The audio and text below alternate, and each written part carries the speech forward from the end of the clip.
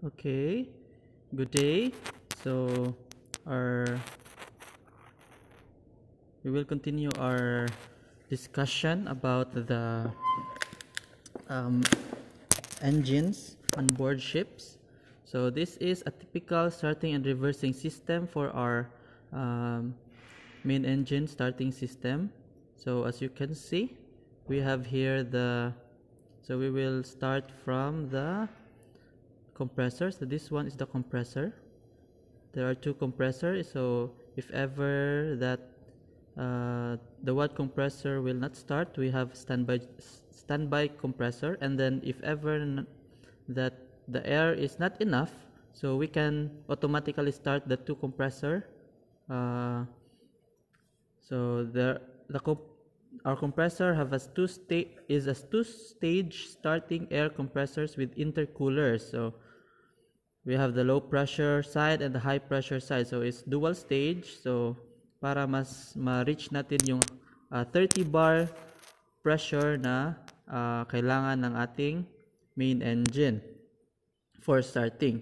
So after the compressor we have here a screw down and return valve.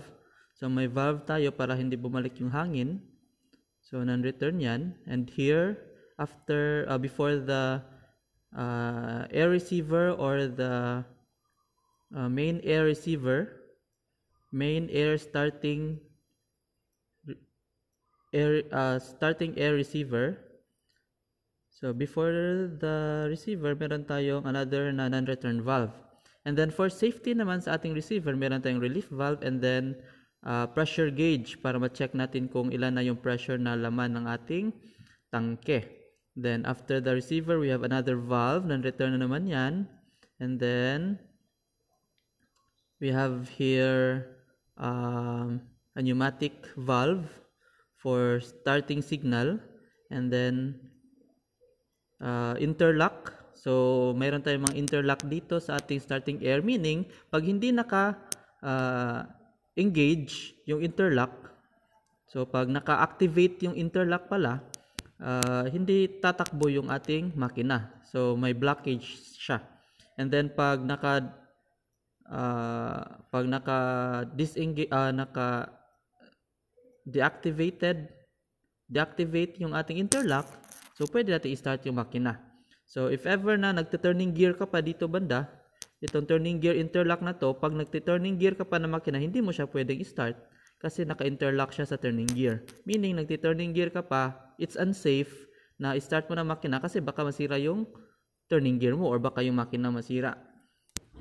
Okay, and then we have here the automatic valve. We have a slow turn valve and then a non-return valve, pneumatic to. So makita natin yung blue line is for pneumatic. Okay. And then the manifold, the bursting disc. So is ang bursting disc ay isang safety device din na pag nag-overpressure tayo sa ating um, bursting this ah hindi pala. Pag nag-overpressure tayo pag nasunog or nag-explode dun sa loob so meron tayong protection from burst. So meron tayong bursting disc. Diyan lalag, lalabas yung pressure. Hindi babalik sa ating linyada. And then uh, at Uh, after the turning gear din pala dito banda, so meron tayo diyang pilot valve or di, sa distributor natin. So, i-distribute na kung saan ang hangin kailangan mong ipasok sa makina. For example, yung makina naka-top dead center at naka-power stroke doon sa cylinder number 5. So, doon niya ipapasok yung hangin, 30 bars na pressure ng hangin, ipapasok niya doon para itulak na niya yung uh, piston pababa hanggang sa umikot yung um, makina sa susunod na naman na cylinder. For example after ng 5 is uh, ano ba?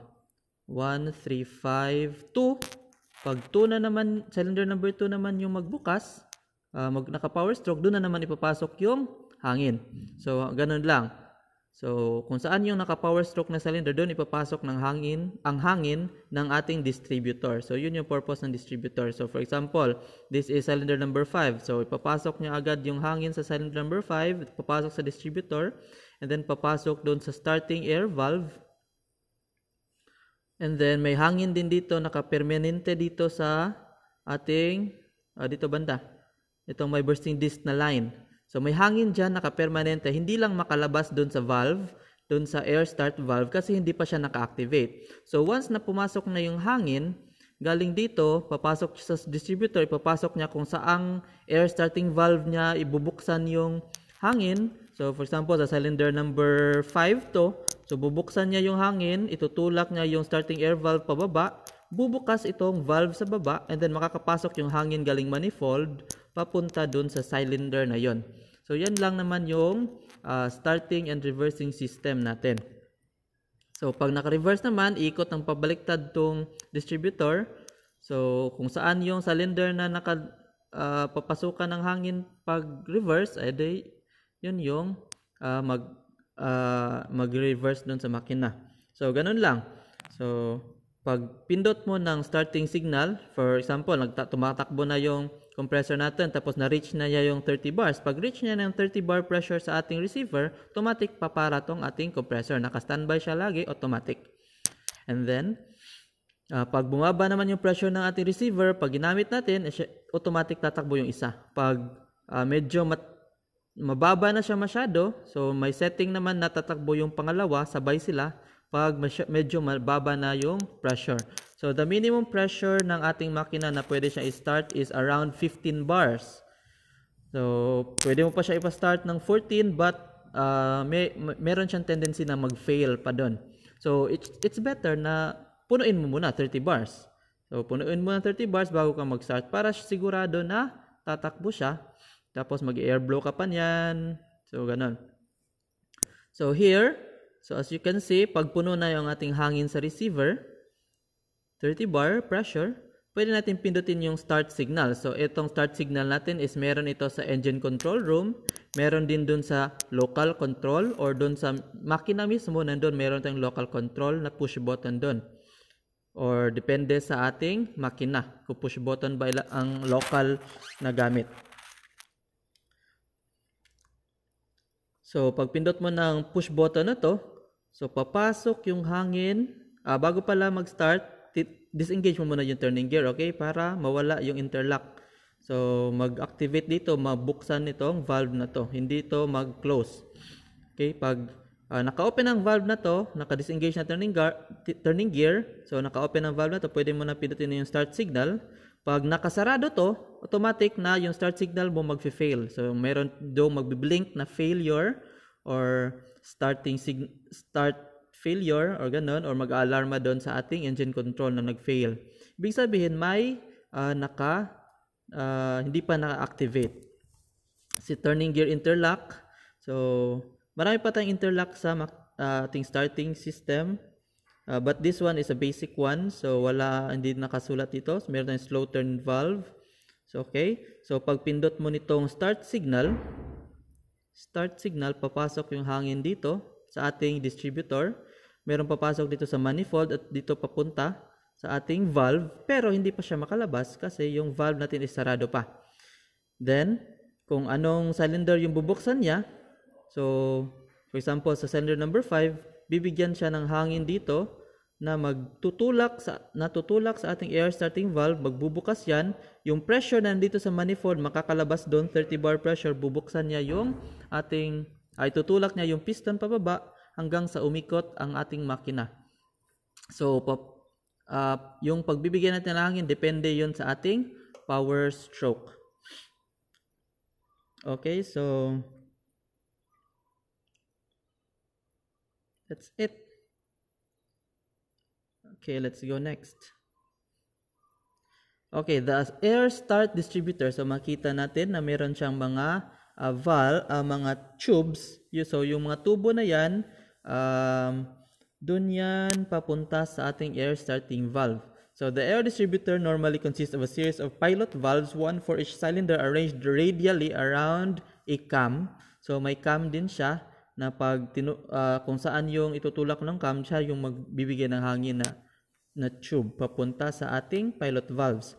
So time to the engine and driven from the camshaft, the distributor opens the main air start valves in the correct sequence. So the main function of air distributor is to send the starting air to cylinder starting valve according to the right starting timing. So may timing siya kung anong uh, number ng cylinder siya unang papasok. So makikita natin sa drawing.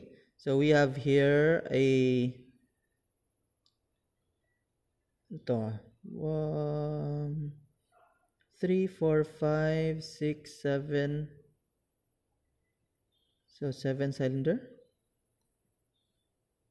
So, parang 7 cylinder yung engine natin dito. So, kasi 7 yung pilot valves or yung tubes na papunta, at tubo na papunta sa ating pilot valves or starting main air, uh, starting air valves. Oops, balik. Mm-hmm. So, the air start valve, so makikita natin sa ating diagram sa right side. So, yung ating air start valve is normally closed. May spring siya na palaging naka-close siya. And then, may balance piston, operating piston, and closing spring, vent. So, pag tinulak ng hangin yung, ng pilot air, yung air starting valve, automatic siya magbubukas. Mm-mm. Bubukas siya, then makakapasok na yung hangin papunta sa ilalim. So may mga butas dyan, dito may mga butas dyan, papasok hangin, lalabas doon sa pagbaba ng piston na to. Okay? So, yung spring natin dito, may vent siya. So, bawal na magkaroon ng uh, mag-build up ng pressure dyan kasi pag nagka-build up ng pressure dyan, hindi na yan gagalaw. Diba? So, uh, as you can see in the picture, this is the air start valve. So, naka, um, naka-install siya on top of the cylinder head. Okay? So the air start valve is located at the cylinder head. When it's opened by the air signal from the distributor, compressed air at 30 bars, so 30 bar flows into the cylinder forcing the piston down. So siya ang tutulak sa piston. Kasi sa simula sa simula ng uh, pagtakbo ng makina, wala pa siyang combustion, 'di ba? So uh, walang pressure na tutulak sa piston pababa. So ang ginawa natin is ginawa uh, nilagyan natin ng air start valve para magbibigay tayo ng hangin doon sa may pa, uh, cylinder na nagpa-power stroke para itulak ang piston. So para na rin siyang nag-combustion pero walang apoy hangin lang. Okay? So, simula lang yan. Pag tumakbo na yung makina, uh, automatic na magka-cut off ang hangin, hindi na siya magbibigyan ng hangin sa air start valve. So, ganun yan. Okay, next, the bursting disc. Okay, so makita natin dito yung bursting disc. Yung iba, ganito yung forma na bursting disc. So, may mga butas yan. So, in case na mag-pressure, overpressure, dyan labas yung hangin. And then, may disc yan sa loob na um, yun yung magbo-burst, yung disk niya sa loob. So, pag nag-burst siya, kailangan mo talagang palitan. Hindi pwede na i-start mo agad kasi hindi siya yung iba tulad ng breaker na pag nag-trip off, ibalik mo lang. Hindi. Mag-burst talaga siya. So, the connection to each air start valve is fitted with a protection device. This can be either a flame trap or, or a bursting disc. So, may, yung iba flame trap din kasi pag start ng, pag simula pa lang ng takbo ng uh, makina, pag starting mo pa lang, tapos may, meron pa lang fuel doon na natira, nag-leaking yung injector, tapos binigyan mo ng hangin, sasabog siya bigla. So, etong bursting disc or flame trap yung magpo-protect na hindi masira yung ating linyada ng hangin or may mga internal parts tayong masisira doon sa cylinder head. So the flame trap will prevent any combustion to the cylinder passing to the air start, start line and causing an explosion, whereas a bursting disc will limit any pressure rise by bursting. So dalawa yung yung iba, uh, kadalasan naman ngayon, dalawa na yung nilalagay, may flame trap na, may bursting disc pa. So flame trap for the flame, baka may uh, combustion na mangyari, and bursting disc for overpressure or pressure rise. Okay, the engine starting. The direction handle is positioned ahead or stern. So, ilagay mo muna yung position ng handle niya ahead or astern. So, depende sa uh, gusto ng ating kapitan or ng bridge. So, this handle may be built in the telegraph reply lever. So, ito, meron tayong local, meron tayong remote doon sa control room. Okay, the camshaft is thus positioned relative to the crankshaft to operate the various cams for fuel injection, valve operation, etc. So, pag naka-ahead na siya or astern yung position ng handle, yung maneuvering handle naman is pwede mong ilagay sa start position. This will admit compressed air into the cylinder and the correct sequence to turn the engine in the desired direction. A separate air start button may be used.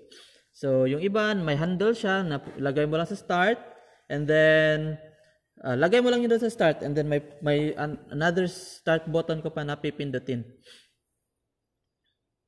Okay, when the engine reaches, so before ka mag-start pala, syempre nakapag uh, air blow cut, natanggal na yung mga, baka may mga dumi or tubig pang nat- natira sa cylinder head, mag-air blow ka muna, tanggalin mo muna yon tapos check mo kung walang leaking ng water ba doon sa cylinder head mo. Baka dahil sa naka, nag-standby yung makina, eh, may tubig na pala doon sa loob, eh, yung tubig pa naman is incompressible, nakakasira yun ng ah, mga parts. Baka may mabali doon sa loob dahil pinilit mo yung piston na it- i-compress yung uh, combustion chamber, eh, puno na pala ng tubig. So, uh, before you start, kailangan mo talaga mag-air blow to check kung may mga tubig or may mga um, unwanted na mga uh, materials or liquids or gas or ano bang meron doon or debris na nandun sa loob. So, pag may lumabas sa uh, test cock na mga dumi, so check mo muna bago mo start. Baka malaking problema na yun sa makina. 'Di ba? O kung tubig na yun, nag-leaking na pala yung tubig doon, i-check mo muna. So, ito, starting na to. So, after na lahat ng preparation, mag-start na to. So, ito na yung gagawin. First is the direction handle is posi- position ahead or astern. Then, put the hand, maneuvering handle to start or you can use the start button. Then, when the engine reaches its firing speed, fuel is admitted and the combustion process will accelerate the engine and starting air admission will cease. So, pag naka uh, naka ikot na siya na at naka firing speed na siya, so automatic yung hangin mag mapuputol. So, yung makina nagko-combustion na. Combustion process. Okay, ganun pag-start. And then if you want to stop it, then this here's a quick step. So when running at full speed, so hindi pwede na pag naka full speed siya, diretso mo siya sa stop. Hindi pwede yon kasi uh, usually yung makina natin is naka uh, protection, may protection yan na uh, pag diretso mo stop, automatic, babagal mo na siya ng sandali bago siya mag-stop. Hindi siya uh, tulad ng motor mo na pag pinatay mo, patay agad.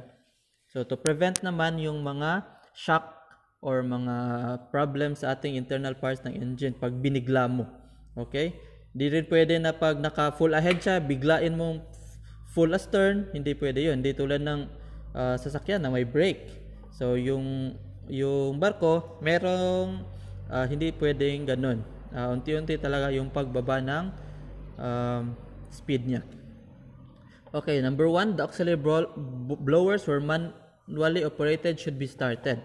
So, when running at full speed, uh, ito yon number one, auxiliary blowers should be started. Fuel is shut off from the engine.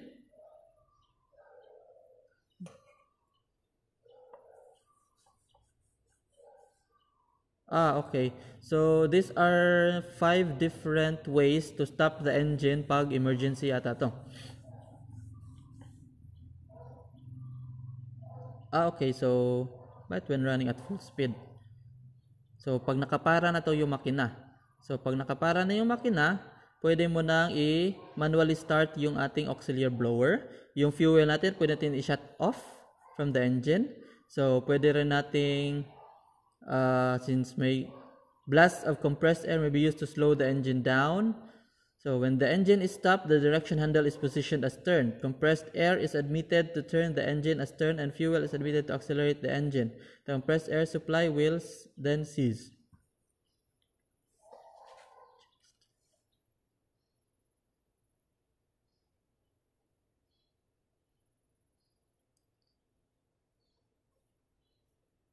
Okay, so ito naman, di naman to ginagawa sa barko. Itong number 3, blast and compressed air will be used to slow the engine down. So, hayaan lang natin na bumagal yung makina. Baka nagmamadali sila. or emergency. Okay, next, reversing. When running at maneuvering speeds where manually operated auxiliary blowers are fitted, they should be started. So, pag naka-maneuvering speed na, start mo na yung auxiliary blowers kasi medyo uh, need na ng hangin. The fuel supply shut off and the engine will quickly slow down.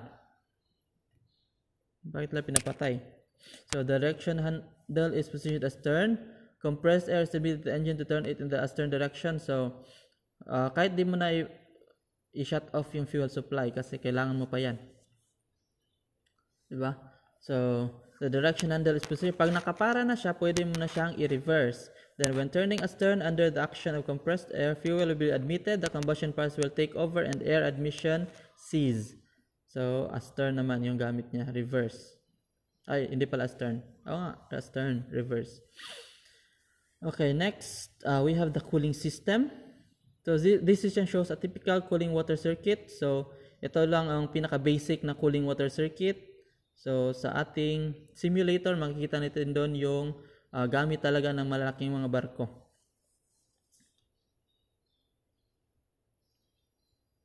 Okay, the cooling system. So, here's a, a small, maliit itong barkong to. So, seawater yung cooling na gamit niya. So, ito ang tawag nito is conventional cooling system. So, seawater ang gamit nila. Usually naman sa uh, barko ngayon is centralized na yung mga cooling system. Meaning fresh water ang gamit na cooling system at yung fresh water naman ay pinapalamig ng seawater na galing sa dagat. Okay. So, explain natin konti to. Explain pa ba? Okay. Medyo maliit. Ito na lang. Okay, sa conventional type to. So, may simulator tayo, doon natin to i-discuss, okay? Lubrication oil system, mer meron din yun sa, uh, sa ating simulators. Okay, the lubrication oil from the main engine sump is collected in sump tank below the engine. So, yung makina, meron pa siyang tangke sa ilalim niya, sump tank ang tawag doon. So, ang sump tank is separate na tangke sa ilalim niya. So, the loophole pumps are protected by a pressure relief valve which opens when the pressure rises over a preset value. These valves are not modeled in detail and are not available for the variable list. The service tank oil can also be circulated by the lube oil purifier. So, yung langis natin sa lubrication oil system is 24 hours siyang ginagamit sa makina and then 24 hours din siyang nililinis ng ating lube oil purifier. So may separate na linyada yung lube oil purifier mula sa tank. So suction niya sa tank and then yung pinupurify natin then balik sa tank. Habang yung may separate naman suction yung lube oil pumps na sinaksak nila mula sa sump tank papaikot sa makina, force lubrication then pabalik na naman sa sump tank. So separate yan. So 24 hours ginagamit ang lubrication oil, sa 24 hours din siyang nililinis ng lube oil purifier. So, sabayan. So, the lubrication oil is cooled in two LT freshwater cooled oil coolers and is then passed through an automatic backflush filter or standby conventional filter before it enters the main engine. The lube oil temperature is controlled by a PI controller which regulates a bypass valve for the lube oil coolers. Okay, the sump tank oil level will gradually decrease due to oil consumption, possible drain or sludge discharge from the purifier. So, pag uh, bumaba yung level natin sa tank, syempre mag-refill tayo. Hindi papalitan lahat ha, refill lang. Okay? So, lubricating oil system. Okay. Meron naman tayong separate na cylinder lubrication. For two stroke, separate yung cylinder lubrication niya. Pero for four stroke, mostly uh, yung uh, cylinder lubrication ng 4-stroke is doon din kinukuha doon sa main lubrication or sump tank din.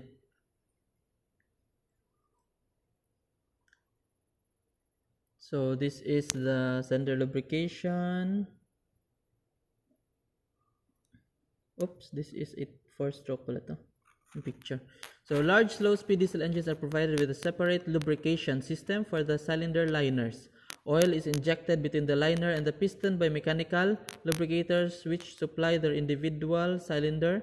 A special type of oil is used which is not recovered. As well as lubricating, it assists in performing a gas seal and contains additives with clean which clean the cylinder liner.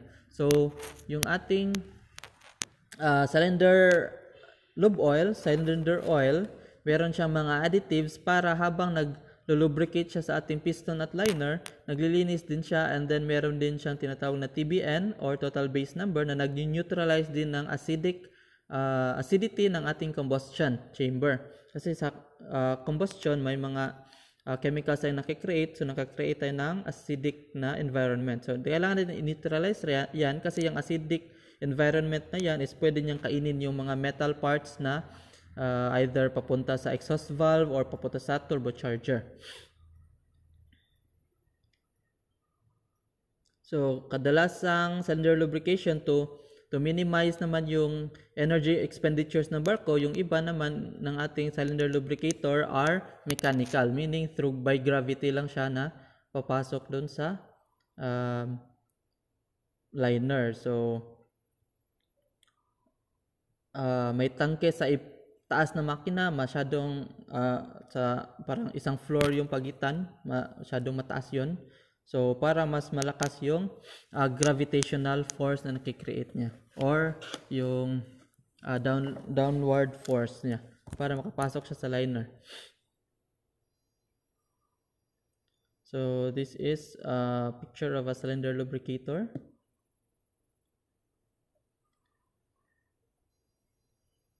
So, cam lubrication, meron tayong mga butas dyan. So, dyan papasok yung ating langis para sa camshaft. So, yung camshaft naman yung uh, nag-activate o tumutulak sa ating mga um, ating mga fuel injector, ng valves natin, exhaust valve, intake valve, ng ating, yun. So, yun yung uh, inactivate nating mga cam, camshaft, ng ating camshaft.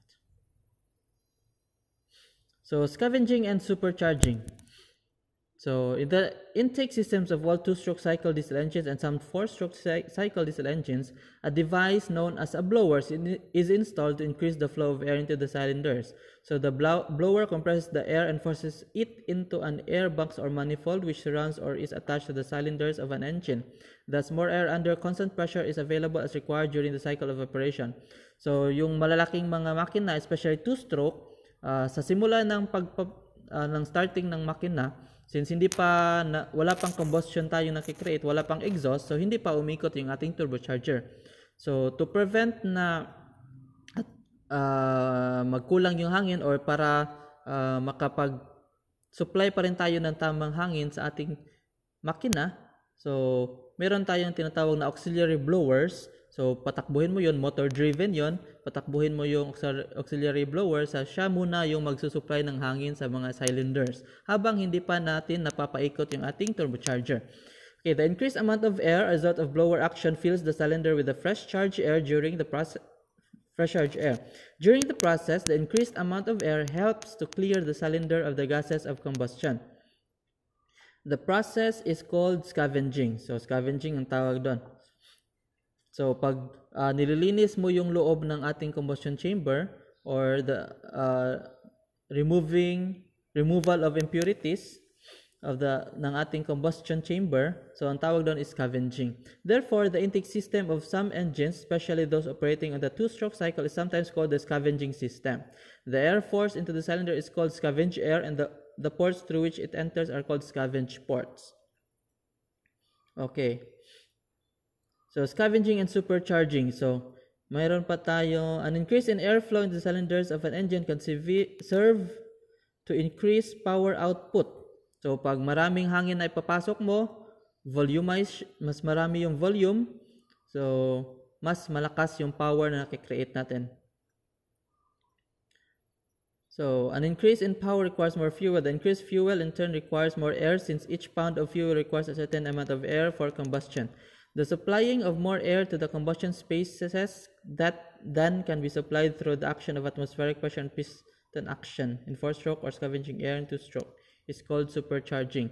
So, supercharging ang tawag pag yung atmos uh, yung volume of air or air pressure na naibibigay mo sa iyong cylinder is more than sa kaya ng piston at ng atmospheric pressure na ibigay. So, uh, binuboost mo pa yung kaya niyang ipasok sa ating uh, combustion chamber na hangin. So pag binuboost mo, tawag doon supercharging. So preventing over uh, scavenging and supercharging. So preventing overspeeding of engine. So ito yung system para ma-prevent natin ang overspeeding naman sa ating engine. So reducing the likelihood of an uncontrolled and catastrophic overspeed is essential and can be done by two methods. First, the mechanical overspeed trip and second is the electronic overspeed trip. So nangyari yan nung uh, fourth engineer pa ako. So yung third engineer uh, pag-start na third engineer ng uh, generator, uh, nag-overspeed siya. So yung ginawa ng third engineer is inactivate niya yung mechanical overspeed trip. Kaso hindi siya nag-stop. So may sira siguro dun sa mechanical overspeed trip. Hindi na test siguro. Kasi yung testing niyan, pwede siya weekly, pwede siya monthly, or every 3 months. And then, syempre, dahil nag-overspeed siya, hindi na gumana yung electronic na yon. So, yung ginawa niya, try niya sa mechanical overspeed trip, hindi nag-trip, hindi pumara. Tumuloy-tuloy yung takbo ng um, generator namin. So, yung next niyang ginawa is sinirado niya yung um, fuel valve. Sinarado niya yung fuel valve para ma- mahinto na yung pagbibigay ng fuel na makina, uh, kusa siyang mamamatay. But then, dahil meron pang fuel sa linyadang natira, uubusin niya muna yung fuel na yon, 'di ba? So, uh, inubos niya muna yung fuel hanggang sa hindi na siya na pigilan. Ang nangyari is yung umusok yung turbocharger, itim ang itim-itim ng usok and then yung pist uh, kalaunan pag nung umusok na yung turbocharger lumayo na kam, yung mga tao, yung oiler and third engineer lumayo na and then biglang pumasok na ako sa duty ko nung nakita ko yon na umusok na Uh, hindi na ako nakalapit kasi umusok na pag-usok, lumayo yung mga tao tapos lumabas yung piston palabas. So, ang good news is walang natamaan sa paglabas na piston. But the bad news is nasira yung generator at pinalitan namin yun ng buo. So, hopefully pag kayo na yung engineers uh, uh, or kahit oiler lang ang uh, uh, kailangan nyo talagang i-check palagi kung gumagani yung ating mga safety devices. Okay, so the electronic overspeed trip. To understand the electronic overspeed trip, a normally layout, normal layout of the system is described below. The electronic overspeed trip consists of, so ito yung nasa loob ng ating um, overspeed trip. So, saan tayo magsisimula? Meron tayo dito mga trips. Tayo lubricating oil supply. So, ito governor na siguro to. Okay, blocking valve for air. So, meron tayong pneumatic. Turning gear interlock. So, may safety time from inter turning gear pag nag-start. Okay, fuel lever. Pag yung fuel lever natin is naka-zero, syempre wala ding fuel na mabibigay doon sa makina. Blocking for fuel. So, pwede natin i-block yung fuel na papunta sa makina. Reversing valve, telegraph, running direction interlock, camshaft, reversing. So, itong trips, nandito yung ating governor. Yung governor natin, meron siyang kakayahan na mag-electronic overspeed trip sa ating makina. So, flywheel mounted speed sensor. Magnetic speed sensor is preferred in generator engines due to the discontinuity of actuator surface geared to the flywheel Voltage excited in the peak-off coil of sensor, producing electric analog wave. The cyclic wave created by the flywheel is read by the sensor. So, tinitingnan nung uh, sensor, magnetic speed sensor, yung speed niya. Pag lumagpas siya sa rated speed or na, nalagpasan niya yung overspeed na rating niya, speed, uh, automatic siyang mag-trip. So running direction interlock. If the direction of rotation of the engine is contrary to the command from the telegraph, consider it is the wrong direction. In this situation, the fuel cutout servo must operate to shut off fuel in case the engine is already running. So meron tayong uh, interlock Ayan, speed, uh, overspeed trip. Meron din tayong running direction interlock. So, pag baliktad yung ikot niya, automatic siya magsha-shut off ang fuel and then magsisignal siya ng wrong direction. And then, ha, pag hindi mo na, na acknowledge yung uh, signal na yun, yung wrong direction, so hindi mo siya pwedeng i-start ulit. Safety interlocks. So, meron tayo, tayong additional mga safety devices for our engine. So, hindi lang yung overspread trip yung ating titingnan. Meron din tayong high vibration. Pag sumobra na yung high vibration ng makina, automatic siya magsuslow down or papara. Then, bearing oil temperature. Pag medyo mataas na yung temperature ng bearing natin, so magsuslow down siya. And then, eventually, it will stop vacuum related, the overspeed, so meron tayong nasabi na kanina, overspeed, differential expansion or differential pressure, pag uh, yung mga exhaust pressure natin is magkakalayo, uh, differ, uh, temperature pala, differential pressure at temperature, pag magkakalayo yung temperature na readings, uh, around 50 degrees, mahigit pa sa 50 degrees ang pagitan ng mga um, temperature ng ating exhaust valve o exhaust exhaust temperature ng main engine. So, ibig sabihin nun, unbalanced forces kada cylinder. So, meron siyang chance na or magkakaroon siya na magsuslow down siya to prevent na matuloy-tuloy na yung paglaki ng difference ng temperature ng exhaust natin. So, casing expansion. So, medyo mainit na yung casing natin. Lube oil header pressure axial shift, etc. So marami pa tayong interlock sa ating uh, engine sa turbine. Turbine, ginagamit din sa turbine yon. So turning gear interlock. So yung interlock na yon pag naka-disengage yung yung turning gear, so pwede ka mag-start. Tapos pag naka-engage yung turning gear, meaning nagpapaikot ka pa ng makina or nag, naka-engage yung turning gear mo, uh, binablock din niya yung hangin papunta sa makina so hindi mo siya pwede i-start. Quick closing valve. So ito naman quick closing valve is um, is situated ito sa ating service tank. So ang fuel oil service tank, marami yung laman na fuel. So in case na nasa labas ka ng barko tapos sunog na sa loob, tapos hindi mo mapatay yung makina, So, ito namang quick closing valve, yung pag-activate niya, pwede siya dito manually or meron siyang connection na, yung makita natin itong maliit na copper tube na to, yung connection niyan papunta sa labas, meron dong labas ng barko, meron dong designated na room na pag inactivate yun ng chief engineer, automatic magsasarado tong lahat ng mga uh, quick closing valves lahat ng tangke sa engine room. So lahat ng fuel, tapos lube oil, lahat ng konektado niya sa sa uh, val, uh, sa kuha na yung lever, may, yung iba lever yung gamit, yung iba push button.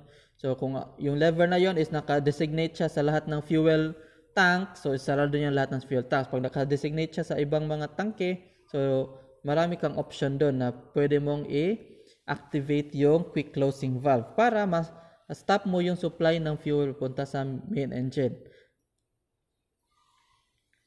So this can be closed remotely, so remote in case of emergency like fire. This can be done with simple pull wires hydraulically or in this case by compressed air. So ito compressed air yung gamit, yung iba naman hydraulic o lube langis ang gamit. Especially sa mga tanker vessels, yung gamit nila hydraulic uh, yung activated. But mostly naman sa lahat, uh, halos lahat ng barko, pneumatic yung gamit naman. Okay, so kailangan mo rin to i-maintenance kasi pag hindi ito nag hindi ka nag-maintenance nito every 3 months or depende sa SOP ng barko nyo. So pag hindi mo to nag na maintenance, nag-stock up yan kahit gaano po mo pa i-activate 'yon sa uh, labas, pag nag-stock up yan, hindi yan magsasarado. So uh, maintenance is very important pa rin sa ating mga safety devices. So usually Saturday job yan, every Saturday ginagawa.